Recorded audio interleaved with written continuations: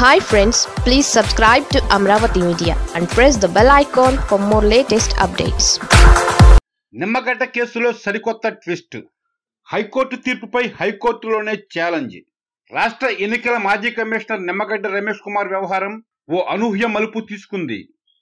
ఆయనను రాష్ట్ర ఎన్నికల కమిషనర్గా తిరిగి నియమించాలంటూ హైకోర్టు ఇచ్చిన ఆదేశాలపై ఒక పక్క ఏపీ ప్రభుత్వం దేశ అత్యున్నత న్యాయస్థానాన్ని ఆశ్రయించగా మరో పక్క నిమ్మగడ్డ రమేష్ కుమార్కు వ్యతిరేకంగా హైకోర్టులోనే ఓ పిటిషన్ దాఖలైంది.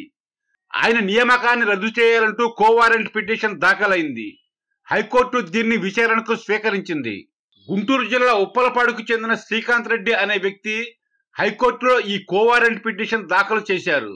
నిమ్మగడ్డ వ్యవహారంలో ఇదివరకు హైకోర్టు ఇచ్చిన తీర్పులో కొన్ని సాంకేతిక పరమైన లోపాలు ఉన్నాయని దాన్ని ఆధారంగా చేసుకుని చూస్తే హైకోర్టు ఆదేశాలను పునఃసమీక్షించాల్సి ఉంటుందని ఆయన తన పిటిషన్లో పేర్కొన్నట్లుగా తెలుస్తోంది. మంత్రివర్గం చేసిన సిఫార్సుల్ని ఆధారంగా చేసుకుని శ్రీకాంత్ రెడ్డి ఈ పిటిషన్ దాఖలు చేశారని అంటున్నారు. నిజానికి నిమ్మగడ్డ రమేష్ కుమార్ను రాష్ట్ర ఎన్నికల కమిషనర్గా నియమించాలని రెండు వేల పదహారులో అప్పటి ముఖ్యమంత్రి చంద్రబాబు నాయుడు సారథ్యంలోని మంత్రివర్గం గవర్నర్కు సిఫారసు చేసింది. దీని ఆధారంగా రమేష్ కుమార్ ఎన్నికల కమిషనర్గా నియమితులయ్యారు. బాధ్యతలను స్వీకరించిన తేదీ నుంచి ఐదేళ్ళ పాటు ఆయన ఈ పదవిలో కొనసాగుతారు. ఎన్నికల కమిషన్ అనేది చట్టబద్ధత గల స్వతంత్ర సంస్థ. తాజాగా చోటు చేసుకున్న పరిణామాల్లో రమేష్ కుమార్ను తప్పించి మద్రాస్ హైకోర్టు మాజీ న్యాయమూర్తి జస్టిస్ కనకరాజును నియమిస్తూ వైఎస్ జగన్మోహన్ రెడ్డి సారథ్యంలోని మంత్రివర్గం గవర్నర్కు సిఫారసు చేసింది. దాన్ని ఆర్డినెన్స్ రూపంలో అమల్లోకి తీసుకొచ్చారు గవర్నర్.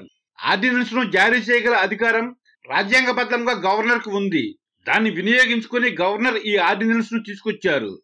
రాష్ట్ర ఎన్నికల కమిషనర్ పదవీ కాలాన్ని మూడేళ్ళకు కుదించాలని ఇందులో ప్రధానంగా ప్రస్తావించారు. నిమ్మగడ్డ రమేష్ కుమార్ను ఎన్నికల కమిషనర్గా తిరిగి నియమించాలని ఆర్డినెన్స్ జారీ చెల్లదంటూ తాజాగా హైకోర్టు తీర్పునిచ్చింది. చట్టబద్ధత గల స్వతంత్ర సంస్థకు ఓ కమిషనర్గా జస్టిస్ కనకరాజును మంత్రివర్గం సిఫారసు చేయడమేంటనే విషయాన్ని హైకోర్టు ప్రశ్నించింది.